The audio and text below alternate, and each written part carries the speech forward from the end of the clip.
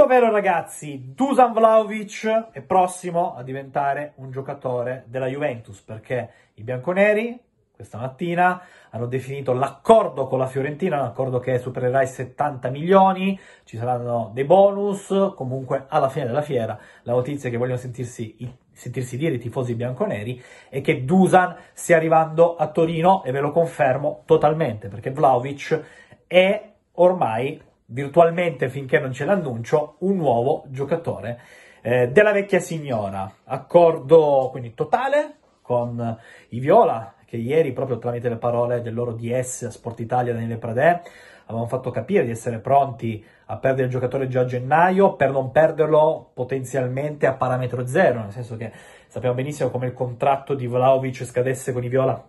il 30 giugno 2023, una scadenza non tanto lontana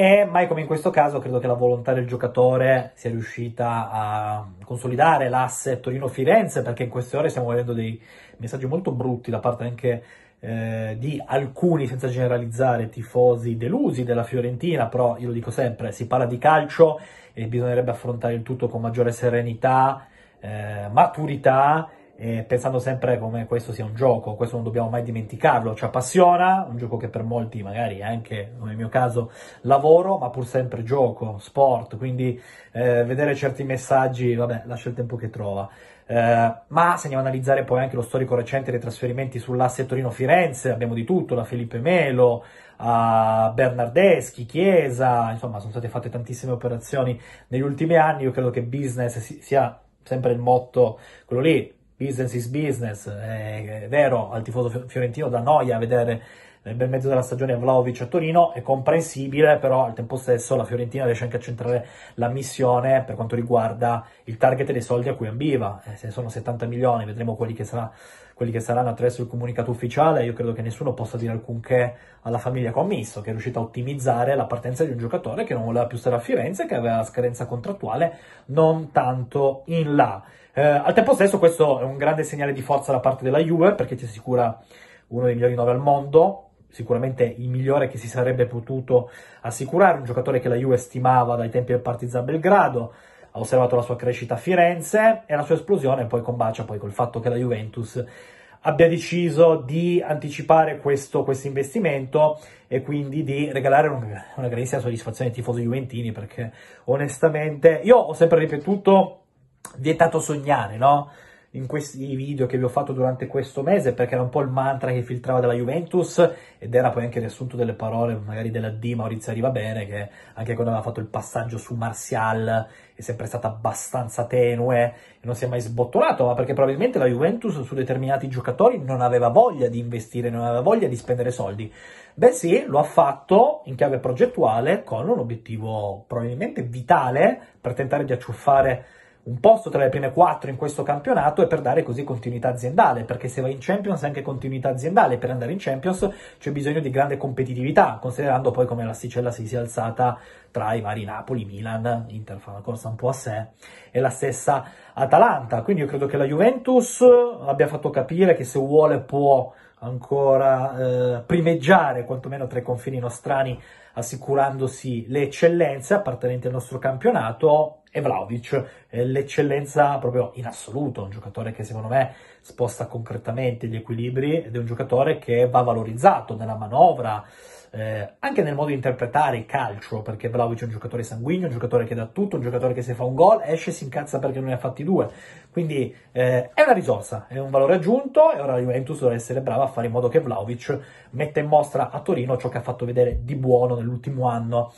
a Firenze. Eh, vedremo poi in quanti anni la Juventus completerà questo acquisto, cioè nel senso in quanti, anni ha, in quanti anni darà i soldi alla Fiorentina, ma credo che questo non interessi al tifoso juventino, al tifoso interessa vedere Vlaovic con la maglia bianconera e lo vedrà perché, ve lo ribadisco, Juventus e Fiorentina hanno definito l'accordo per il passaggio del forte attaccante serbo qua alla Juventus.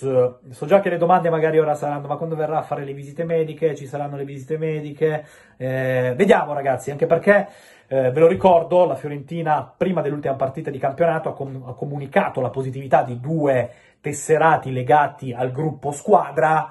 e, um, non ha fatto i nomi, però poi non sono stati convocati Saponare e Vlaovic e noi abbiamo fatto 2 più 2 e quindi diamo per scontato che possano essere questi due i giocatori purtroppo positivi al Covid, quindi vediamo un pochettino, monitorate come sempre gol perché siamo sul pezzo, in un page abbiamo il mio pezzo che ho scritto questa mattina che stiamo aggiornando con tutti i dettagli di questo accordo tra Juve e Fiorentina, lo ribadisco perché è bello dirlo,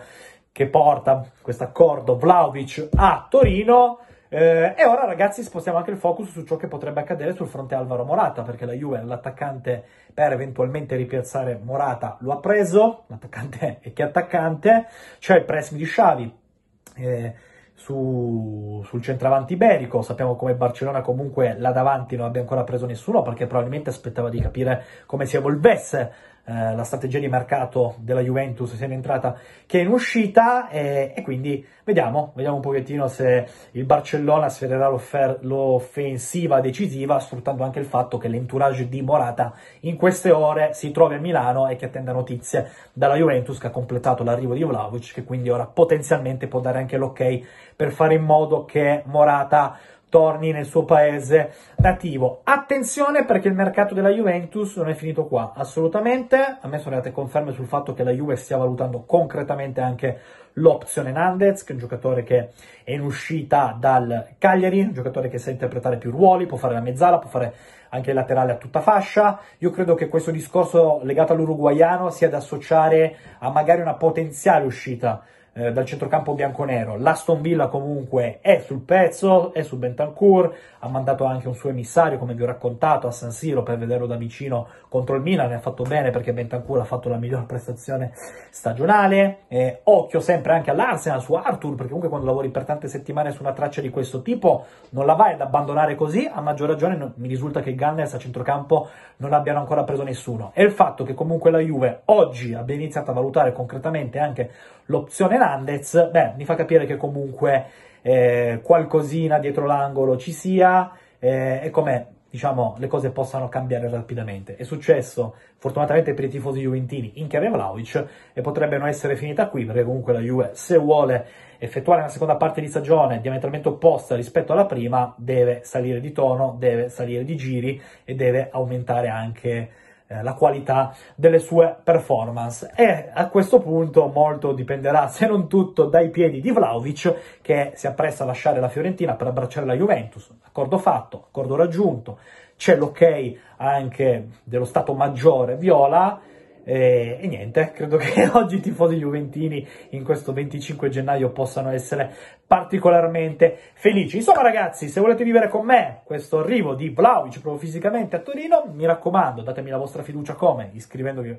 al mio canale YouTube, alzando la campanella e mettendo like ai miei contenuti. Probabilmente oggi faremo anche un terzo video di serata con tutti gli aggiornamenti finali, però questo è il bello, barra il bellissimo del mercato. Un abbraccio.